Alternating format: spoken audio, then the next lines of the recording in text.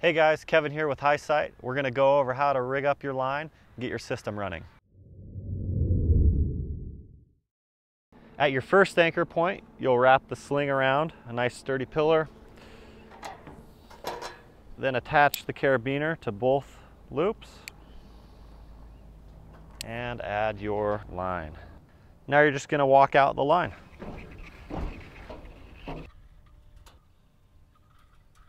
You're gonna make your way over to the second anchor point, attach the sling, the carabiner, and the tie-off device. Make your way down the line, five to 10 feet away from your sling, and you're gonna tie a clove hitch.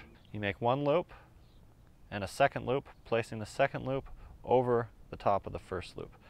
Then you put your carabiner through both the loops And this is what it should look like when it's done correctly. Now we'll build up the tensioner.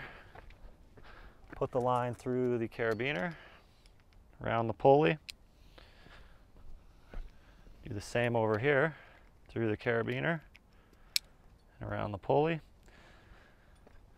And when you come back, make sure that you're putting it so the line is traveling in the same direction when you pull on it, so it's not fighting against itself and the same over here.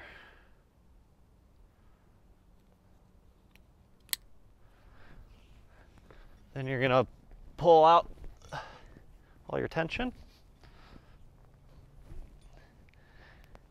and attach it to the tie-off device. You'll just follow the directions on the tie-off device.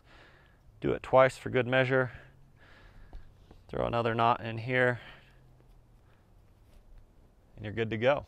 Your line is all set up and now you're ready to operate the High Sight.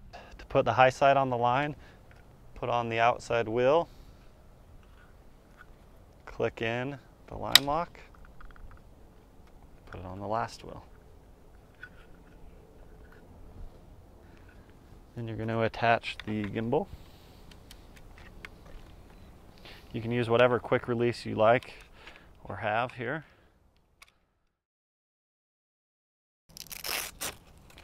Last comes the battery.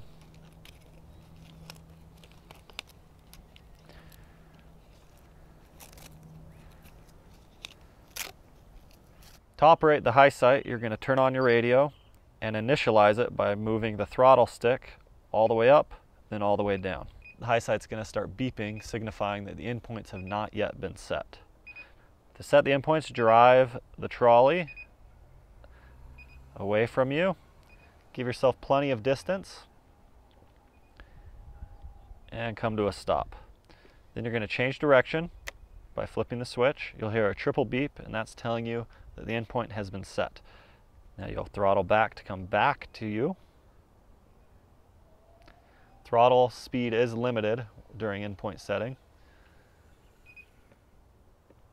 And change direction to set your second endpoint. You'll now no longer hear the trolley beep as both endpoints are set and it will automatically come to a stop at your endpoint. To demonstrate, I'm going to go full throttle and it stops all by itself.